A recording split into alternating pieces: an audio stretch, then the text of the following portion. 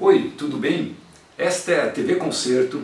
Hoje nós estamos aqui para falar um pouco sobre o primeiro programa da temporada 2015 da USESP. Na verdade a USESP já andou tocando este ano, mas esse aqui é o primeiro programa da temporada propriamente dita. A USESP se apresenta hoje, quinta-feira, dia 26 de fevereiro, amanhã, sexta e no sábado. É, apresentando-se com a sua regente titular, diretora musical, Mary Nelson, é, num programa que traz uma obra do compositor Christopher Rose é, e também a grande Quinta Sinfonia de Gustav Mahler.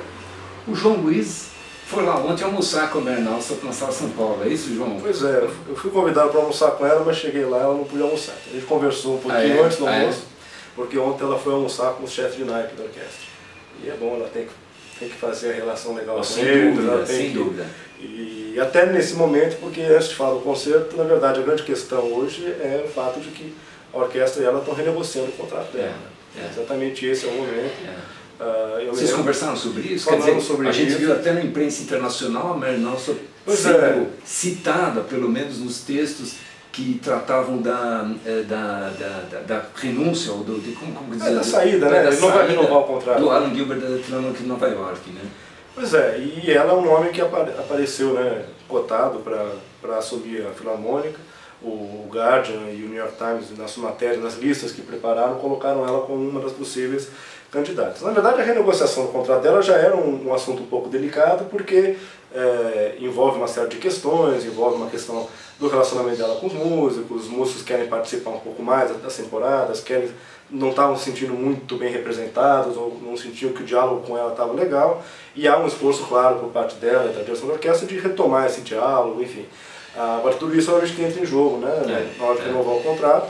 É, lembrando que ela já tem o contrato dela em Baltimore, né, que vai até 2021, e o contrato dela acaba aqui em São Paulo no ano que vem, né, é, no final de 2016.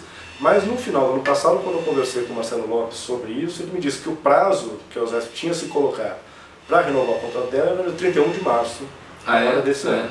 Então eles querem terminar março com, com isso já acertado. É claro que Nova York acaba acrescentando um, sim, sim. uma pitada de problema na história, porque se de fato ela for considerada para Nova York, sabe que espaço São Paulo teria. Se ela vai preferir a USP ou preferir a Então eu perguntei para ela, assim, vou perguntar exatamente isso. E aí? E ela disse, não, eu quero ficar aqui. Ela prefere o Zé. Ontem ela disse, está gravado, registrado, que ela prefere ficar no Zé. Bacana.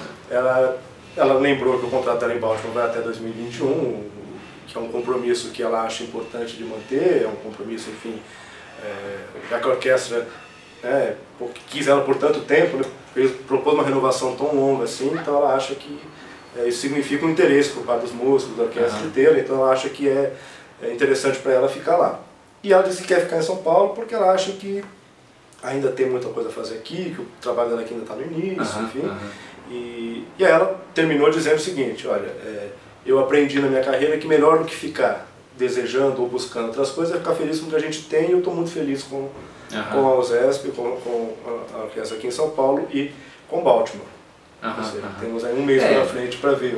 Eu acho que, de fato, assim, uh, uh, o panorama das orquestras internacionais não é fácil, né? Quer dizer, com, com há, há, cortes em todos os lugares. Na USESP também não é, não é fácil, mas eu acho que a USESP é um, hoje em dia tem, é um lugar bom para se trabalhar em termos é, de, eu acho que oportunidades mesmo. Sim, além de toda a temporada, né, e todas as possibilidades de repertório que você é. tem, né. Agora, se apesar disso é melhor do que a Filarmônica de Nova é, York, eu estamos vendo. ela, ela, é, ela lembrou que ela é nova-iorquina, né, que ela, ela ah, é, nasceu em Nova York, então obviamente que é, tem toda uma questão simbólica para ela assumir a orquestra. Mas enfim, como eu disse, a UCESP se colocou um prazo até o final de março para resolver essa questão. E vocês conversaram um pouco sobre o concerto desse... Conversamos sobre o concerto, é, foi até curioso porque ela já regiu a Quinta de Mahler com a orquestra, né? ela regiu a Quinta de Mahler em 2011.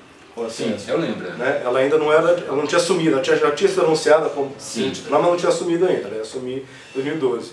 E, e até a gente conversou sobre isso, né? Porque quatro anos depois, né, como é que ela sente a orquestra, enfim, as diferenças, principalmente com relação ao Mahler, que é o compositor que ela está começando a fazer bastante né, com a orquestra. E, e ela acha que a orquestra hoje já tem um, ela chama de um vocabulário de dinâmicas maior. Sim. Ela acha que a orquestra hoje já está preparada para fazer interpretações com mais nuances, mais sutilezas, com, enfim, mais, mais ricas, né?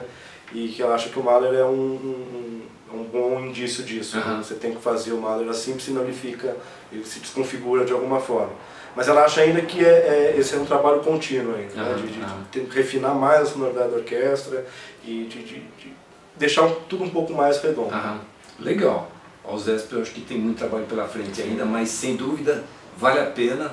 Se você não tem seu ingresso, dá para comprar ainda, não tenho certeza. Acho que dá para comprar. Acho que É. hoje, quinta-feira, não, mas nos próximos dias ainda tem. É, não perca, né? Principal orquestra do Brasil, sem dúvida, um, um grande programa, uma grande maestria, acho que vale a pena. É isso aí.